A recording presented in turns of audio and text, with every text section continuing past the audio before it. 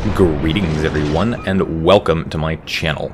I'm your host Captain Rye. Today's video I'm playing in the Australian Death Machine, also known as the HMAS Perth, here in World of Warships. The battle's already gotten underway and due to a replay bug I was forced to cut about the first 5 minutes of this replay file.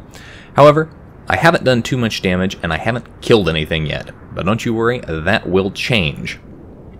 As the battle gets going Right now, as it is, the enemy team currently holds the lead with the D and B cap points. They've got two cap points. My team only has the A cap point at the moment. We've lost one of our two destroyers. The enemy team has lost a cruiser. The battle is a tier 8 maximum battle. There are tier 8 battleships in play. And so that's going to be a very important factor here because the Perth, well, she's not particularly sturdy, especially when fighting against battleships, and especially when fighting against Tier 8 battleships. But that doesn't mean that a little Tier 6 light cruiser like the Perth can't be absolutely devastating when put into the right positions. Speaking of the right positions, I'm using the concealment that I have on this ship, and I'm going to push up and I'm going to start grabbing the C cap point. It's important that we get the C cap point because the enemy team is currently up on points, and if we let them continue, they're going to win. I get torpedoes off there. Those are actually aimed at the Queen Elizabeth that's back there, who's sailing back behind that island. She's going to sail just into the range of those torpedoes if she comes around that island. In the meantime, there's the enemy Akazuki. and I'm going to go ahead get shots off at him. That's going to open me up for detection, but I've got my smoke screen up here in just a few seconds. So I slam on the brakes here. I am detected. That's to be expected. Fortunately, it doesn't look like anybody's actually shooting at me, and I'm able to pop my smoke screen here, and hopefully I can drop off detectability. Come on, yes, drop off detectability. Take a few shots there, but not too bad. Akazuki pops his smoke screen, get more shots off here. It'd be wonderful if I get the kill on him. Didn't get the kill on the Akazuki, but did get the kill on that Queen Elizabeth. And it looks like our Mahan has managed to secure the kill on that Akazuki. So that leaves the enemy team now down on ships. But that's not going to stay that way for long. If you look here, our Mahan, who's fairly low health, is out in the open. He's spotted and there's an enemy cruiser up here that's going to go ahead and continue to shoot at him. And I see too many destroyer captains, especially US destroyer captains, who are low health and they'll do this. They'll be out in the open and they'll continue shooting. You really, really do need to stop shooting. Drop off detection and just go hide. Come back later as a torpedo boat and then maybe open up with guns. Switched over to the armor piercing there. I thought that cruiser was going to come out broadside, but no, he's playing it very, very smartly and using that island as solid rock cover there. Torpedoes going out there did manage to set him on fire. Hopefully he'll repair that before the torpedo gets to him, and hopefully that torpedo will kill him, but it doesn't look like that's going to be the case. He did take a big hit there. I think that was from a battleship, but I'm not sure.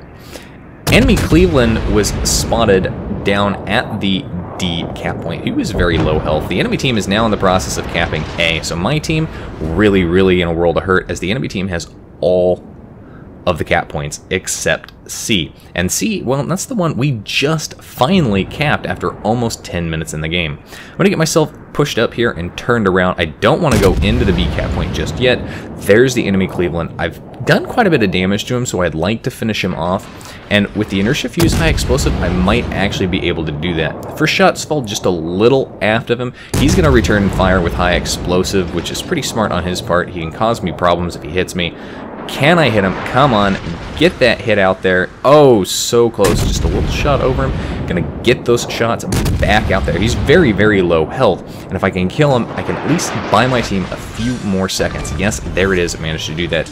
But caught out in the open at this point. If you look at what's around me, got a battleship behind me, and I got battleships in front of me, including the Tier 8 battleship there, and definitely don't want to be caught out in the open and detected with those enemy ships there. Big shout out to the guy in the Atlanta there. He's going to notice me at the end of the battle here, which I thought is actually kind of funny considering I'm almost going to team torp him. And I'll tell you what I mean in a second here. In the meantime, there's a low health New Orleans that's out there. He's just taken a pretty sizable hit there.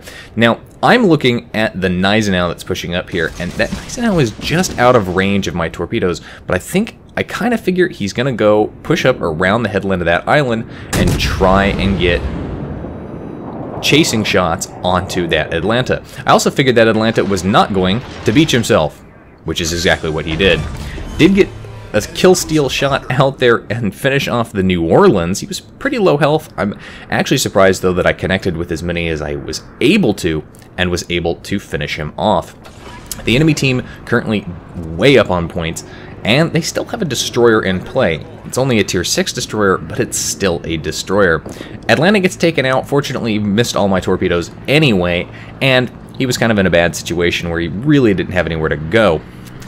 Do feel a little bad that I put torpedoes in his direction, but then again, I don't really feel bad because, to be fair, I didn't expect you to survive that engagement anyway.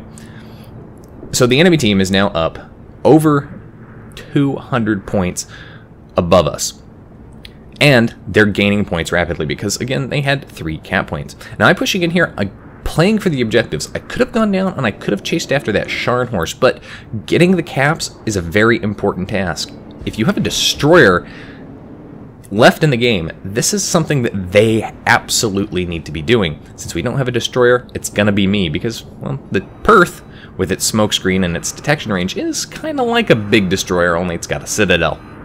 And a catapult fighter for spotting. Smokescreen is available again.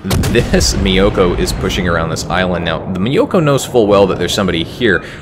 If he was paying attention and has last knowns on, he can probably see that it was the Perth. So he's probably thinking he's got an advantage here. He's a tier 7 cruiser, he's got 8-inch guns, he can absolutely wreck me, but as you can see here, he's not quite able to spot me yet. It's not close enough. The Perth does have a very nice low spotting range when in smokescreen. I think it's just a little over four and a half kilometers. So I'm able to get shots out repeatedly at this guy, and I'm able to finish him off. Supporting fire coming in there from, I think, the North Carolina, possibly the Scharnhorst, not entirely sure. Speaking of Scharnhorst, enemy Scharnhorst, well, he's still back down at the D cap point, and he's got a lot of health here. Being spotted by the Myoko's catapult fighter there, that's going to be unfortunate for me while trying to be sneaky, but I'm also trying to contemplate where I want to go here.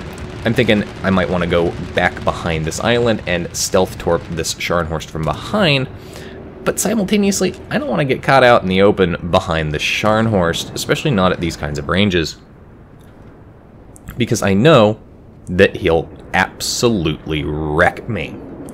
Instead, I'm looking at the situation, and my team, down to just three ships at this point, really needs more bases to cap. And from the looks of it, it looks like the A cap point, our original home cap, is wide open. So I'm actually going to go up to the A cap point instead and grab it. Enemy team is now up almost 400 points. They're just about to hit that danger zone, that 900 points area where it's pretty much all down to you have to kill something if you want to stay in the game. And speaking of having to kill something if we want to stay in the game, Take a look at the mini-map there. We have a friendly Fuso that's all the way back toward the edge, the corner of the map there, and that Fuso is engaging a Gneisenau, who's pretty low health as you can see, and at Alabama. And as we're going to see a little bit, that Alabama is not particularly low health. Now, what I'm looking here is to see if that Fuso can take out that Gneisenau. It's a tier 6 versus a tier 7, so it's not that too mismatched. The Fuso's got a lot of 14-inch guns, but if he lets that Gneisenau get too close, it's going to be a problem. But if he can take the Gneisenau out, at the very least, if he can take the Gneisenau out, we might be able to stay in this game. The enemy team up into that 900 points bracket.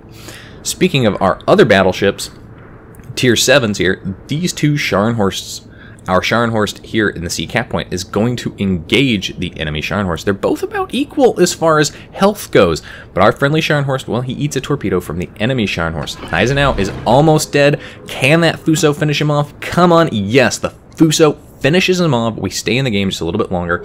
You can see the enemy team is now capping C, so uh, once again, we're not gaining points as rapidly as the enemy team. I pop my hydroacoustic because I don't know where that destroyer is. Enemy Scharnhorst eats a full set of torpedoes from our friendly Scharnhorst, and now that gives our friendly Scharnhorst the health advantage for dealing with this guy. Get spotted here is I push into the A cap point. That tells me that the enemy destroyer is nearby, so popping Hydra was absolutely the right choice to do here. Don't quite have my catapult fighters available just yet, and the enemy team did manage to take out our Fuso but it puts the Alabama way, way out of position to really shoot at anything, so he's going to have to rely on that destroyer to continue spawning. And as you can see, once again, spotted, plus the enemy team still capping the C cap point, so I know where that enemy destroyer is, because I know where the Alabama is.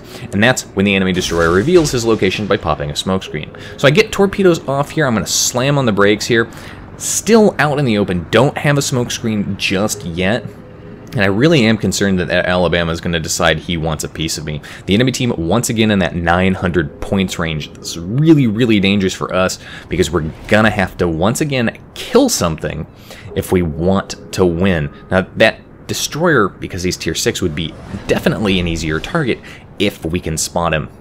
In the meantime, I'm going to go ahead and push back to the C cap point. The enemy team was forced out. That destroyer chose to leave the C cap point. That's going to give my team that just that little bit of an edge there because that's going to mean we're gaining points at three times the rate of the enemy team. So if our Scharnhorst can get himself turned around and go step on the D cap point, we can prevent the enemy team from gaining any more points. Now there's the Alabama, he's got about half his health left here.